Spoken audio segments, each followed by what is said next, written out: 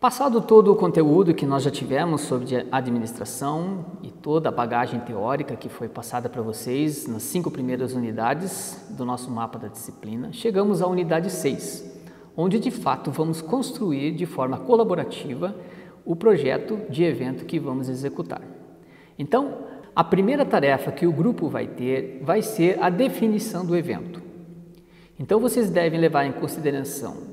o potencial que o grupo de vocês tem, que o município apresenta, os espaços físicos disponíveis, a população que vai se beneficiar disso, no caso, escolares, em que vocês vão selecionar faixa etária, uh, gênero, quem vai participar desse evento de forma efetiva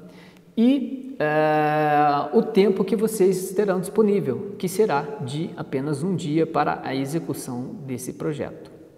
Ok? Em seguida, vocês vão distribuir os, os cargos e as tarefas de cada um e que cada um cumpra a sua responsabilidade, porque se uma comissão ou alguém de uma comissão não fizer o seu papel que lhe cabe, é, corre-se o risco do insucesso do evento e não é o que nós desejamos. Em seguida, a formação das comissões organizadoras, em que cada um vai saber qual, seria a sua, qual será a sua responsabilidade a elaboração do regulamento desse evento, se vai ser uma competição, se vai ser um torneio, se vão ser jogos, isso cada grupo vai definir qual será a sua escolha. Ah, os sistemas de disputas entre o, aqueles que irão participar do evento, a forma de classificação desses participantes e não esquecer do cerimonial de abertura e de encerramento do evento com o qual vocês, a depender do critério né, e das possibilidades de cada evento e de cada local,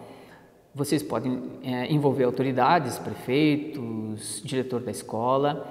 para fazer parte tanto da abertura quanto do encerramento na premiação dos participantes. Então, essa é uma etapa fundamental em que, em conjunto com os tutores e com o professor da disciplina, por meio dos chats,